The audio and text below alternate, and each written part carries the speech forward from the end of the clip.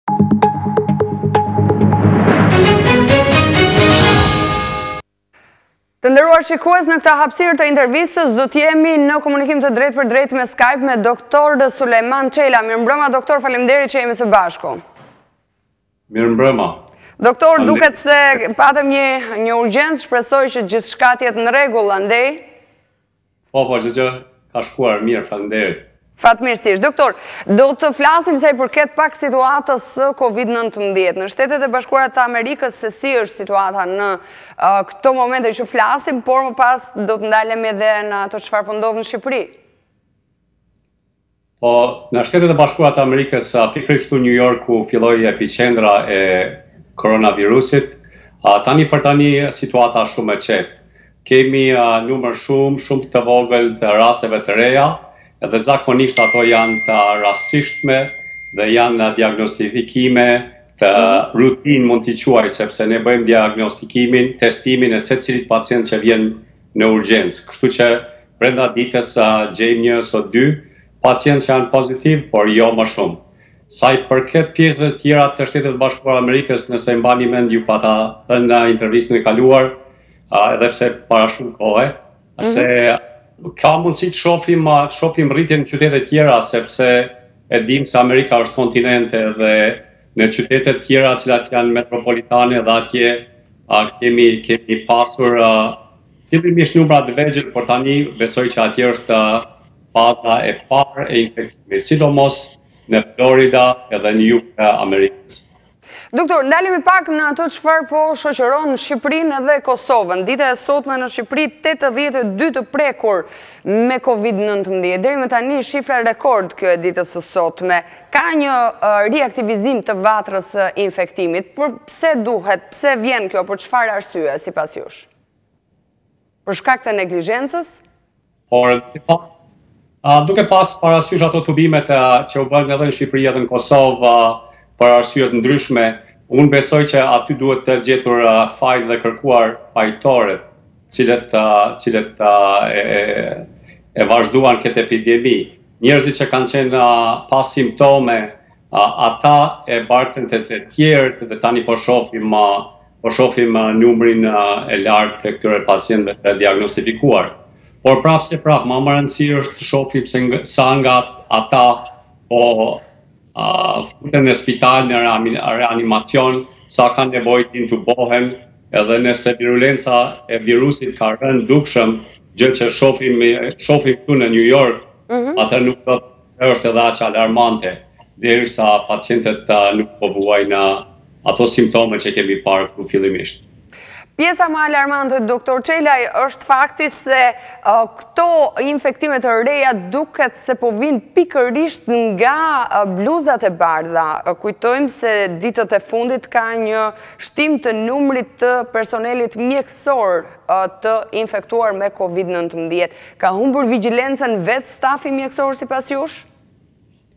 Është e mundur. Është e mundur sepse edhe ne këtu kemi bartur nga një pacient te tjetri, fatkeqësisht duke mos pas mundësi njëqind për qind të mbajmë atë higjienën e duhur, por duhet të vazhdojmë të jemi vigjilentë. Jo vetëm bluzat e bardha, Po të gjithë ne, kudo që jemi, të jemi vigjilentë dhe të mbajmë këtë distancën fizike, aq sa është e mundur.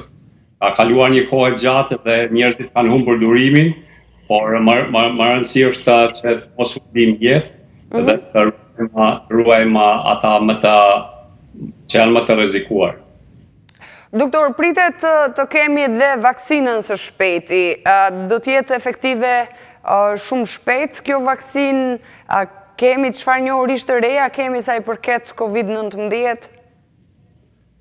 Po, efikasitetin e vaksinës, sidomos për Shtetet e Bashkuara të Amerikës do ta do ta vërtetojë FDA edhe jam i bindur që nuk do të lejojë një vakcinë që është substandarde apo e rrezikshme që të që të përhapet gjithë botën. A, kam lexuar se AstraZeneca ka filluar shpër, mhm. shpërndarjen e një numri shumë të lartë me miliona, qindra miliona vakcina fillimisht në Evropë, besoj që do të kemi edhe këtu dhe në Azi shumë, shumë shpejt. Vakcina është e mirë, do të vakcinohen ata të cilët, fillimisht ata të cilët janë më të rrezikuar, të moshuarit pikërisht, dhe atëherë shofim edhe edhe ndoshta bluzat e bardha duhet të jetë në të njëjtin kohë së bashku me të moshuarit. Në kushtet kur numri i të infektuarve është në trend rritës, a duhet që qytetarët shqiptarë të mbajnë në mënyrë të vazhdueshme maskat dhe dorezat?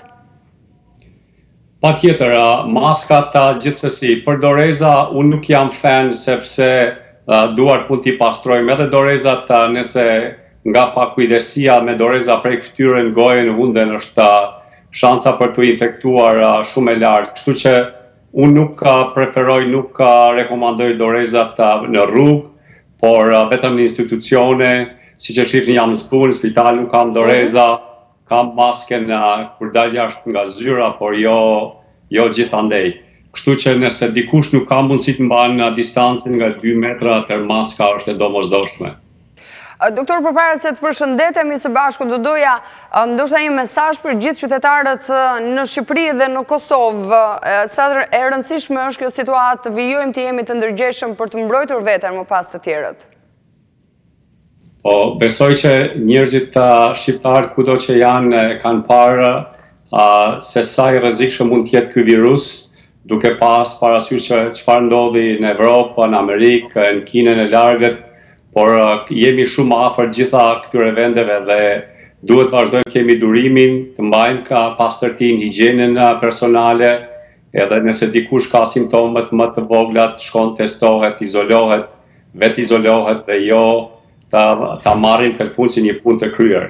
Nuk ka mbaruar akoma, kemi punë për të bërë, a çdo nivel, duke nisur nga vetvetja deri te shkencëtarët që po punojnë ditë e natë për zbulimin e vaksinës.